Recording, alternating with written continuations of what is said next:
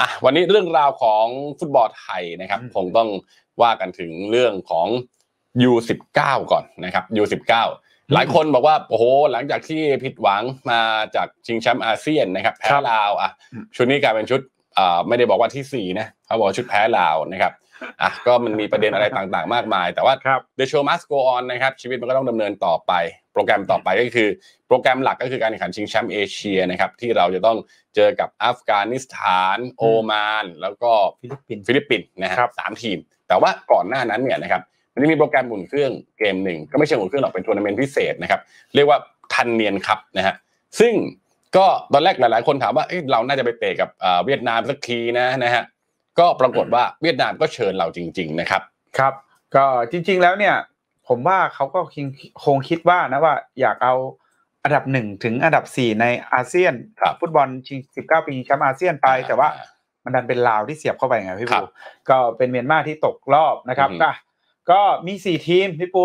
Thanh Niên Cup เนี่ยปกติจะเชิญเด็ก 19 ครับ BTB ครับใครจำได้ไหม จะเป็นอ่าส่วนใหญ่จะเป็นสโมสร จะเป็นชุดใหญ่ขึ้นมาหน่อยนะครับ มีเวียดนามอะเจ้าภาพเลยนะครับ มีมาเลเซียนี่แชมป์สดสดร้อนๆเลย มาเลเซียไม่ได้เจอไทยนะอ่าแล้วก็เมียนมานะครับ ก็น่าสนใจว่าสามทีมนอกจากมาเลเซียเนี่ย เป็นสามทีมที่ไทยเพิ่งเคยเจอมาครับ ซึ่งโปรแกรมหมุนเครื่องหรือว่าฟุตบอลนัดพิเศษแบบนี้ผมว่ามันเป็นเรื่องที่ดีนะนะครับครับ และมันเป็นระดับมาตรฐานที่ที่โอเคเลยเหมาะกับทีมไทยในช่วงนี้นะครับ เอาจริง ๆ ตอนนี้ก็จะไปอุ่นกับตะวันออกกลางจริงๆเนี่ยแนวทางมันต้องเป็นอย่างนั้น พอจบจากศึกอาเซียนแล้วเนี่ยนะครับ เราต้องไปเล่นกับพวกเอเชียละนะฮะจีนก็ดีนะฮะหรือว่าจะเป็นกาตาร์หรืออะไรเงี้ยนะครับ นั่นก็คือการเตรียมเข้าสู่ทัวร์นาเมนต์เอเชีย แต่วันนี้เนี่ยมันยังมีอะไรให้ต้องคาอกคาใจกันอีก มากพอสมควร เรายังไม่ผ่านตรงนี้เลย เพราะฉะนั้นไปซ้ำอีกทีนึงนะฮะ ไปเล่นอีกทีในเกมเดียวกันก่อนนะครับ ไปดูซิว่าที่ผ่านมาเนี่ยเรายังมีอะไรที่ต้อง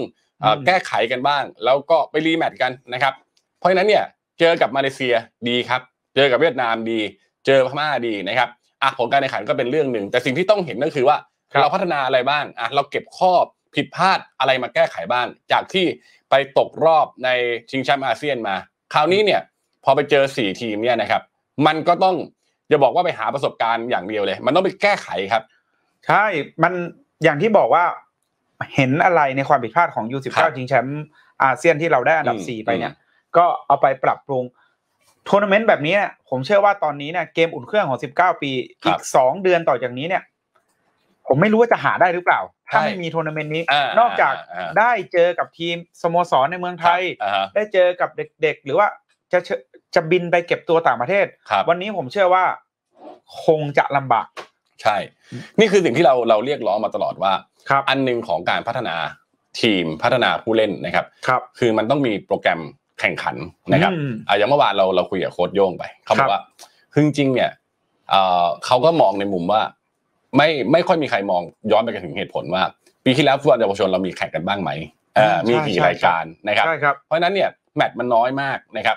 พอพูดอย่างนี้ปั๊บเดี๋ยวคนบอกชาติอื่นเขาก็น้อยเขาก็โควิดเหมือนกัน แต่ว่าในความพร้อมเนี่ยมันมันไม่พร้อมเท่าที่ควรเพราะนั้นสิ่งที่เราต้องการก็คือว่าเราต้องการแมตช์เยอะๆทีนี้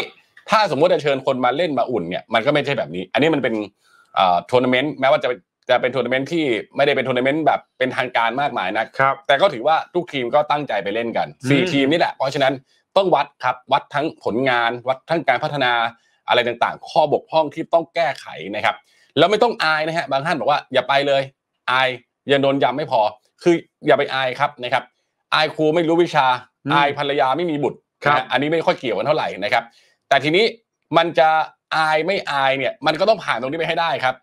เออถ้าจะแพ้พวกเวียดนามพวกพม่า มันก็ต้องแพ้แต่ตอนนี้เรายังไปถึงระดับเอเชียไม่ได้ ถ้าไปเอเชียเนี่ย เดี๋ยวจะอายกว่านี้อีก แล้วมันไม่ได้เป็นการพัฒนา เพราะว่าเรายังต้อง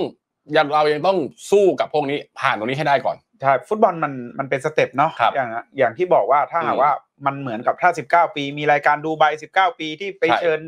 ทีมอย่างญี่ปุ่นซาอุขึ้นมาเนี่ย วันนี้ต้องยอมรับว่าคุณภาพของเราเนี่ย มันยังเหนื่อยอยู่ อย่างอย่างดูใบเนี่ยครับ พอไปถึงตรงนั้นมันเป็นข้ออ้างได้ว่า โอ้มันเป็นทีมที่แข็งนะพวกจีนพวกซาอุสู้ไม่ไหวอะไรเงี้ยแต่วันนี้เนี่ย ยังไงในทัวร์นาเมนต์เนี่ยผมว่ามันมันชาติมันสูสีกันมากนะครับแล้วเราต้องผ่านตรงนี้ให้ได้ เพราะว่าเดี๋ยวไปสู่ระดับเอเชียนะครับเดี๋ยวไปเจอโอมานหนักกว่านี้แน่นอน ใช่ครับคือพอจบจากทัวร์นาเมนต์เนี่ยผมก็ยังมองว่าอยากให้ครับอยากให้สมาคมเนี่ยอืมหาทีมตะวันออกกลางมาอุ่นบ้างครับเพราะอะไรเพราะว่าเดี๋ยวมีโอมานอืมเดี๋ยวมีอัฟกานิสถานฟิลิปปินส์นะครับมันมันอาจจะไม่หนักสักเท่าไหร่ครับแต่ว่าที่ผ่านมา 19 ปีไม่ได้เจอเลยนะพี่ปูใช่เจอทีมระดับอาเซียนเดี๋ยววันนี้อ่ามมาซ้ำอาเซียนอีกทีนึงครับ หาพวก UAE อะอย่างพวกคุณนพรัตน์ที่เขาบอกว่าแต่วิธีการเล่นของเอเชียกับอาเซียนไม่เหมือนกันนะอันนี้เข้าใจถูกต้องเลยใช่ใช่ถูกต้องเลยว่าจริงครัๆบแล้วจริง ๆ ผมถึงบอกนะว่าถ้าสเต็ปแรกเราผ่านอาเซียนไปแล้วเนี่ยวันนี้เนี่ยที่จะไปเอเชียเราต้องหาทีมตะวันออกกลางทีมจากพวกกาตาร์อ่า UAE หรือว่าอ่าเกาหลีเหนืออะไรเงี้ยมาครัอุ่บนนะครับ แต่วันนี้เนี่ย เรายังไม่ผ่านตรงนี้เลยเพราะฉะนั้นไปเรียกความมั่นใจถูกถูกถูกไปลองระบบทีมกับทีมที่มันใกล้เคียงกันอีกรอบนึงไม่มีครับอะไรเสียหายครับ เดือนสิงหานี้นะฮะใช่ แต่ปัญหาอย่างหนึ่งพี่ปู่ผมอืมผมไม่เข้าใจว่าการวางแผนการวางระบบของเยาวชนของฟุตบอลครับสมาคมกีฬาฟุตบอลอืมล่าสุดเนี่ยอ่าให้ซาบาดอร์กาเซียครับหลังจากกลับมาแล้วก็ลูกของพี่อะไรถนัดเดินข่าวอะสตาฟโค้ชเขาอะอ่าตรวจโควิดด่วนอืมแล้วก็ไปเป็นสตาฟ ให้พี่พบอ่อนโมสิบหกปีต่อ ใช่อ่าผมก็ยังงงว่าอ้าวทำไมซัลบาดอร์การ์เซียไม่กลับมาแก้ไขกลับมาดู stat กลับมาดูสถิติต่างๆ แล้วก็ครับกลับมาทำงานของตัวเองให้เต็มที่พี่ปู่แล้วซัมเบอร์ดอร์มีชื่อเป็นผู้ช่วยโค้ชของอ่าสิบหกปีด้วยนะพี่พบใช่อ่าใช่คือมันมันขาดแคลนขนาดนั้นเลยหรือใช่ก็นี่ไงผมอะถ้าถ้าถ้าซัมเบอร์ดอร์เหมาะที่จะเป็นผู้ช่วยโค้ชเหมาะที่ครัจะบเป็นคนทำ scout หรือว่าทำข้อมูลเนี่ย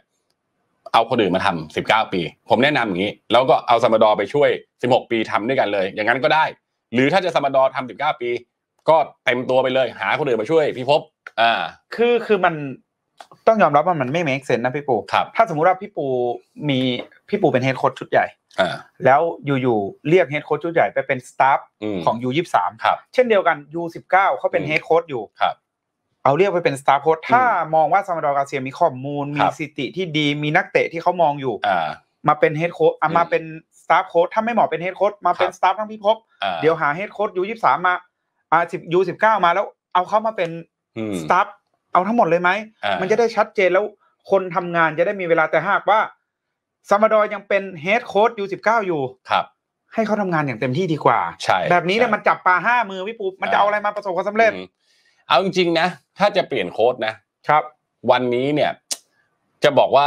มันเปลี่ยนมาร์กกลางศึกไหมมันก็ยังมีทัวร์นาเมนต์ให้ลองอยู่นะอ่ารีบรีบอ่าต้องรีบตามปต้องลี่รีนบแปทำเลยปอะระกาศรีบถ้าครับจะเปลี่ยนก็ต้องเปลี่ยนเพื่อให้ได้ไปอุ่นเครื่องในถูในกในเอ่อที่เวียดนามคราวนี้ด้วยที่ครับทานเนียนครับคราวนี้ด้วยอืมเพื่อจะได้ต่อไปยังเอ่อชิงแชมป์เอเชียได้นะครับครับ แต่ถ้าไม่เปลี่ยนซามาดอร์ก็ต้องลุยตรงนี้เต็มที่เลย ส่วนใช่เอาโอเคเข้าใจว่า 16 ปีของพิภพเนี่ยอ่าซามาดอร์อาจจะมีประโยชน์ แต่มันก็น่าจะมีคนอื่น โอ้ยโค้ชในเมืองไทยเยอะมากนะครับ อืมอืมอือฮึถูกต้องถูกต้องหลายคนบอกอ่าคุณทาโร่บอกประธานเทคนิคสั่งครับพี่ห้าถ้าประธานเทคนิคสั่งนะแสดงว่า โอ้โหเขาชุลมุนวุ่นวายเขาสับสนเยอะมากนะอ่าอ่าผมไม่รู้ว่าวิธีคิดมาไหนถ้าซาบาดอร์กาเซียกลับมาด้วยการอืมเป็นแชมป์ในระดับอาเซียนและยิงคู่แข่งเละครับ ผมว่าอะ เวลาเตรียมทีมอาจจะพอเหมาะพอเจาะได้อืมยิ่งเละเทะมาอืมยิ่งต้องหาเวลาแก้ไขครับและเพิ่มเวลาให้ซาบาดอร์กาเซียใช่ถ้าเขายังเป็นเฮดโค้ชอยู่นะลำพังชุดเดียวยังเหนื่อยเลยนะครับถูกถูกอะเพราะฉะนั้นเนี่ยอ่าเดี๋ยวลองดูนะครับว่าสมาคมจะขยับอะไรหรือเปล่า เพราะว่ามีโปรแกรมว่าสมาดอเกษตรจะต้องเข้าไปไปรายงานใช่ไหมไม่รู้ว่าวันไหนใช่จะยังยังไม่ยังไม่ได้ไปเหมืสอนรุปว่าผลงานใช่ไหมให้รีบใช่ครับครับแล้วเนี่ยซาบาดอร์พอไปเก็บตัวที่พัฒนาสปอร์ตครับอืมก็ ยังไม่ได้มาคุยกับสมาคมละอ่ามันก็อ่ายืยืดเยื้อยืดอืมเวลาไปเรื่อยๆ ซึ่งผมมองว่าแบบนี้เนี่ยครับทิศทางของของเยาวชนเขา16 19พี่ปูอืมมันก็ทับซ้อนครับมันก็สับสนไปหมดอือฮึอืมหรือเขาจะมองว่าเออมันจะได้เป็นแนวทางเดียวกัน แต่ผมว่ามันก็คงจะไม่จำเป็นต้องเอาตัวบุคคลไปจากเฮดโค้ชไปเป็นผู้ช่วยอีกชุดหนึ่งอะไรอย่างนี้ไหมก็ผมก็งงเอาหรืองี้จะได้ดีกว่าคุ้ม เอาอย่างนั้นเลยเหรอจ่ายไล่คุ้มไม่รู้สิไม่รู้สิแต่ว่ามันมันมันก็แปลกเหมือนกันคือ คือใครดูครับก็ก็ว่าว่าแปลกอะว่าอืมจากเป็นเฮดโค้ชสิบเก้าปีครับ ก็ไม่ได้ปลดด้วยนะ ไปเป็นใช่ผู้ช่วยโค้ชสิบหกปีครับหรือเอ่อจะจะปลดแล้วเอาให้เป็นผู้ช่วยโค้ชสิบหกปี อันนั้นก็ได้อย่างนั้นได้อย่างนั้นได้ แต่ว่ามันก็ต้องมีคนมาทำสิบเก้าปีแทนนะอ่าอะถ้าแบบนี้สมาคมต้องชัดเจนคือครับผมบอกอย่างหนึ่งว่าอืมสมาคมเนี่ย อย่าไปยืดยาดอย่าไปครับชักช้า ทำอะไรให้ชัดเจนพี่ผมอืม U ยี่สามตกรอบมาครับจริง ๆ ต้องกางแผนแล้วว่า U ยี่สามจะเดินต่อยังไงหลังจากอ่าผิดหวังมาอืมขณะที่ U สิบเก้าอะ U สิบเก้าผิดหวังมาอืมกางแผนมาเลยว่าจะทำยังไงต่อครับเงียบเรียกเลือกที่จะเงียบ ผมว่ามันไม่โอเคมันไม่จดีริงๆนะจริง ๆ ผมว่าถ้าอ่าพี่พบบอกว่าเป็นเฮดโค้ชครับซัลบาดอร์เป็นผู้ช่วยอืมผมว่าลงตัวนะชุด16ปีเนี่ยครับเพราะว่าพี่พบบอกว่ามีประสบการณ์อ่าในการเล่นอายุครับอานามก็มากกว่าอืมพูดไทยได้นะครับใช่มีครับวิธีคิดแบบ ที่เอาเด็กๆอยู่อืมเป็นต้นแบบที่ดีครับขณะที่ซามาดอร์มีข้อมูลที่ดี มีอืมระบบอ่าวิธีการใหม่ๆเป็นการโค้ชสมัยใหม่อ่าเป็นโค้ชสมัยใหม่การ analysis ที่ดีนะครับครับมันมันมันจะ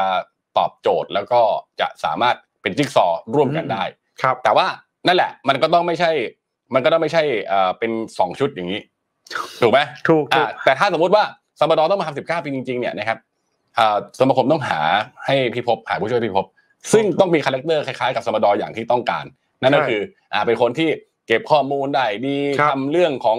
เอ่อการ scout คู่แข่งขันหรืออะไรต่างๆนานานะคครัรับบมันก็หาได้ผมก็เชื่อว่าหาได้ เออ ใช่ใช่ผมไม่อยากให้พอผลงานไม่ดีแล้ว พอมาสลับสับเปลี่ยนกันแบบนี้ครับคือ มันมั่วซั่วกันแบบนี้เนี่ย มันจะโดนอืมคือมันจะโดนติติงกันเยอะแล้วครับสุดท้ายเนี่ยอะเราไปโทษนั่นโทษนี่เนี่ย เราย้อนกลับมาโทษบริหารการบริหารจัดการดีกว่าอืมถ้า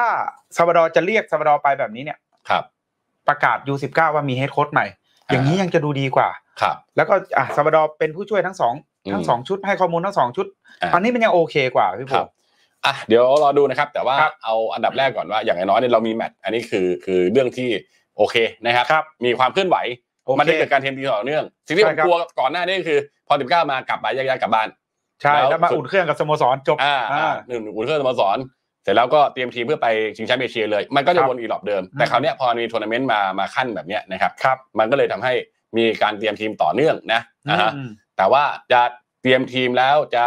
ดีไม่ดีอันนี้ก็อยู่ที่ว่าโค้ชละว่าจะไปพัฒนาใช่กันยังไงนะครับ ใช่ครับอะอันนี้ก็ลองดูเพราะว่าถ้าสมมุติว่าอ่า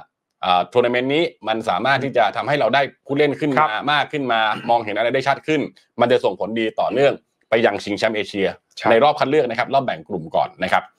ถ้าชอบคอนเทนต์ของเรานะครับ อย่าลืมกดไลค์กดแชร์กดติดตามนะครับใน Facebook และกด Subscribe นะครับรวมถึงกดกระดิ่งด้วยนะครับ เวลาที่เรามีคอนเทนต์ดีๆ ก็จะได้ร่วมติดตามกันสำหรับฟุตบอล108 นะครับ